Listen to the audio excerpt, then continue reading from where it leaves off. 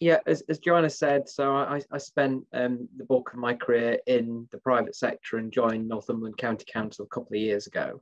Um, so I, I, don't have the uh, the benefit of um, the long view that John has of, of Durham County Council. So what I can say is that Northumberland declared a climate emergency in 2019. Um, there was a commitment to deliver net zero by, by 2030. Um, there was and there continues to be really strong buy-in to this across the county with residents, the business community, the third sector. And, and I think key, picking up on a lot of Councillor Clare's points, um, this is a, a cross-party commitment. Um, and it's uh, for those uh, st uh, students of Northumberland County Council, it's probably the only apolitical thing that's going on right now um, in, in the county and which is great because it means post-election nothing's going to change for, for, for me nor nor the team which we're starting to build which is which is good news.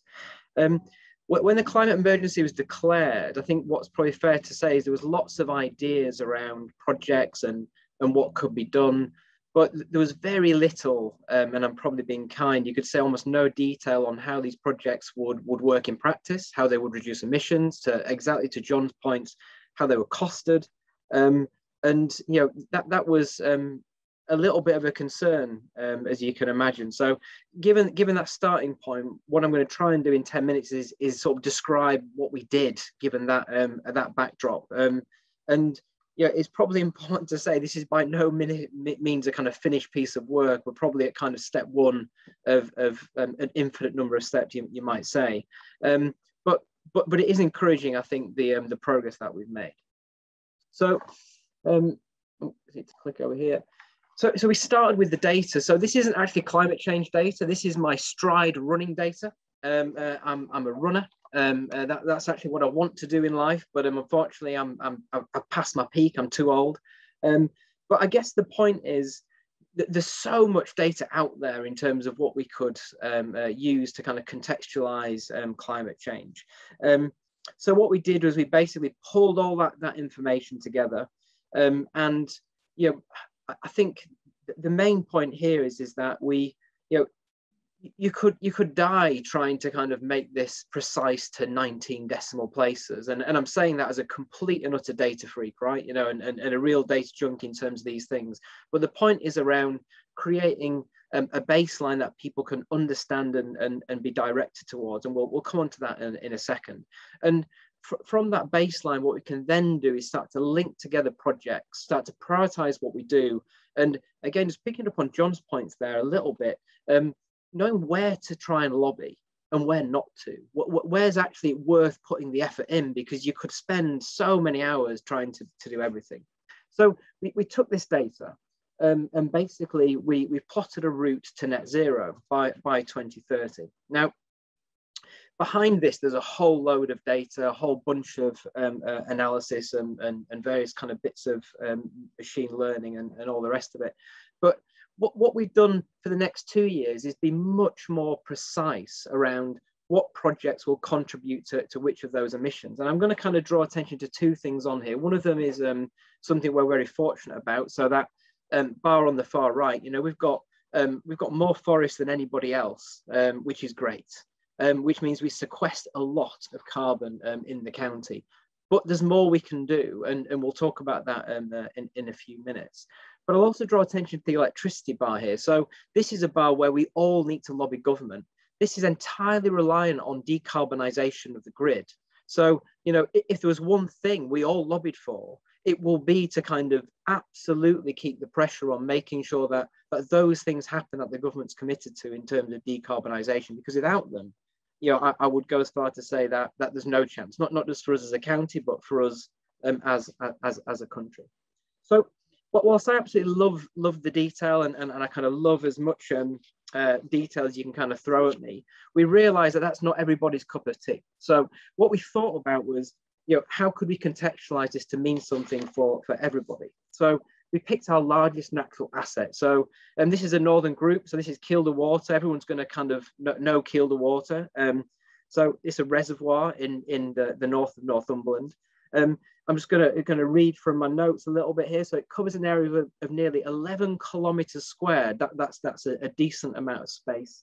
Um, and it's the largest reservoir by volume in England and Wales with a volume of 200 million meters cubed. Now that, that I don't really know what that means, but that, that's big, I think is probably the, um, the, the size of it.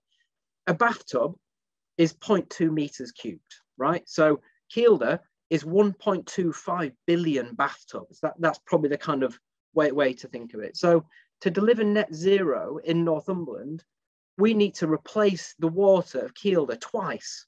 That, that, that, that's our challenge. And when we started to use that iconography with, with people, that, that, that started to mean something because a lot of people in Northumberland have been to Kielder. I don't know if everybody's been because I don't know everybody in Northumberland, but I think most of us probably have, and most people um, on this call probably have. And that, that just really brought it home to people the scale of the challenge and, and the scale of responsibility we all need to take as part of that challenge. So, with that kind of combination of big data and, if you like, little data, um, we, have now created a, a, baseline against which we could measure um, our, our, changes and our progress against. And you know, we had to shift our focus away from the what to the how. And what became really clear really, really quickly was that this just couldn't be about climate change. This needed to be about a whole load more. So to quote um, uh, um, uh, a famous American president, it's about the economy, right? It, you know, it's not about climate change on its own because if it is just about climate change on its own, then again, I don't think this is going to work. So we've basically taken the exact same approach and we've flipped it to look at the funding and look at the jobs. And this is where I think John and I could probably have kind of a fair, a fair old argument because I think there's quite a lot of data out there which allows us to get quite precise around what this means in practice. And I'll kind of give you um, a, a nice mining example um, later around what, one particular project that we're doing where we think that we can do this. But overall macro picture, in order to deliver our net zero ambition, we think with a, um, you know, a reasonable amount of uncertainty, we need to attract about 1.6 billion pounds of investment into the county and we need to create about 11,000 jobs in order to deliver the work required across all aspects of our plan. And like John in Durham, we've got a two-year plan that sits within a 10-year plan, and every two years we're going to cycle through the detail and check and balance against um, that, that, that overall target. So to kind of give you a feel for some of the things that in, in practice that we're doing, we've got three different types of what we're calling flagship projects, which are, are very much kind of the focus across the next two years amongst um, a portfolio of things. But what we've got on the left is district heating, which I'm going to talk about in a little bit more detail in a second. In the middle, um, uh, we've got the forest, which actually is code. When we say forest, we're talking about all the environmental tools. So it's yes, it's about right tree, right place, but it's also about peat um, and, and other environmental um, uh, tools that are at our disposal. And this little guy on the right um, is uh, basically a, a, a, car charger, which you guys will be familiar with. And you know, key, key to Northumberland, actually, I think key to um, uh, um, Durham as well, and, and, and other rural counties as well. How do you make an EV infrastructure work in, in a rural economy? That's quite different from the challenge that um, uh, you know um, uh, we, we, have within a city. It is it's, it's a different problem. And that's something which we need to wrestle with and, and, and think about. But if we think about district heating in a little bit more detail, two of the, the projects which um, are kind of furthest advanced and we're looking to kind of um, land in the next couple of years are on the left, that's the, the mine in Blyth. So um, we, we've got a fantastic um, uh, heritage in the Northeast, not just Northumberland, but the whole of the Northeast in terms of mining. And I'm, I'm sure everyone on this call, given and our sponsors would, um, would agree with that. And what we're doing in Blyth is tapping into the mine water, like, like a number of places are, to basically create um, a, a, renewable um, uh, kind of source of, of heat and energy. And you know, the key to this is how do you make it commercial now we're quite lucky in Blyth in terms of there's communities and there's businesses around there and there's also council estate that we can tap into there's a new um, uh, um, factory coming on the horizon that some of you will have read about as well so you know we think that there's enough um, business to make this viable um, and, and that, that, that, that's obviously kind of key. And linked to that, we're connecting this conversation into tourism. So we're building a, a whole um, attraction around Blyth, and, and and you know there's no reason whatsoever why the actual the mine water heating couldn't be part of that visitor attraction in terms of how we attract our, our, our guests and visitors um, into the area. On the right, this is a schematic of a hydro scheme in Hexham. Um, and actually, before I forget that, um, uh, back to Blyth just just for a minute. So in Blyth, we think, well, we don't think, we know we need about £4 million to make that work. And we think that's going to create around 44 jobs. Um, and again, we can get into the detail as to kind of the, the how and the why. But the point is that connection between the big, the 11,000 and the 44 is really key. Otherwise, we're just kind of making this up. And it's got to be both practical but, but, but ambitious. And the schematic on the right is from Hexham. So this is um, a Hexham hydro project. So um, in the Tyne Valley, as, as lots of people will know, there's quite a big um, salmon fishing community. So we've got this group of um, people who are really excited about the environment, but also really skeptical about things like hydro, you know, in the Tyne because it might kill the fish. So again, we're trying to balance those two things together, come up with a solution which is great environmentally, but is also great for climate and, and great for that community in terms of both generating renewable source of energy, but also in terms of um, uh, you know, attracting inward investment uh, in, in, into that um, uh, market town. And, and, our, and our ambition, zooming back out to the nine years, is to figure out what's the project like those we can put in every one of our 66 wards. Every ward should have a district heating scheme specific to that area that actually people come and see. And maybe in Northumberland, that's a tourist attraction in of itself. And we, and we connect that into a, the broader conversation that we're having um, uh, with, with, with our colleagues in the, in the, in the leisure teams.